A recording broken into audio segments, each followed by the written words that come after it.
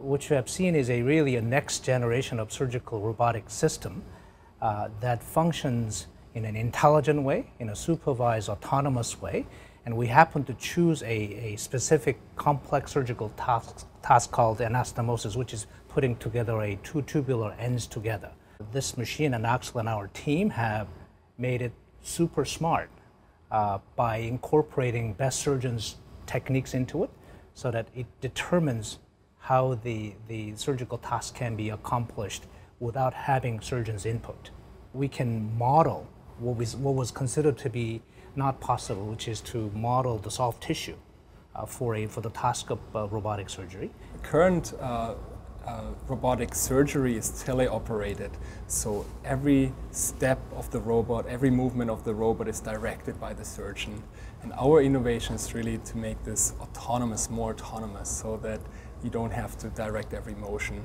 So we programmed in uh, what is the ideal spacing between sutures, what's the perfect tension for each suture, um, how many sutures should be there uh, placed, and then uh, you know the robot uh, uh, executes this suturing plan. Probably the most surprising part was that when you actually compare that to current standards of practice, um, the machine does it better. If you are to throw in 20 stitches, it's not enough that a human being does 19 out of 20 well. You have to do all 20 of them well to have a sort of a good outcome.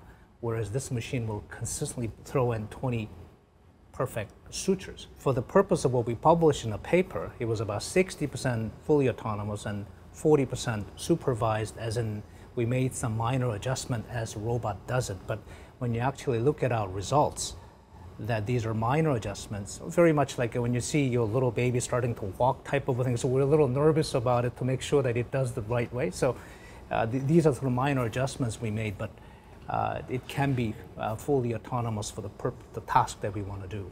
Just imagine having the best technology and technique that's available any place, anytime for any surgeon, for any patient. Having these intelligent systems, if you will, and then working with surgeons uh, will ultimately uh, Uh, decrease complications and have better outcome and save lives.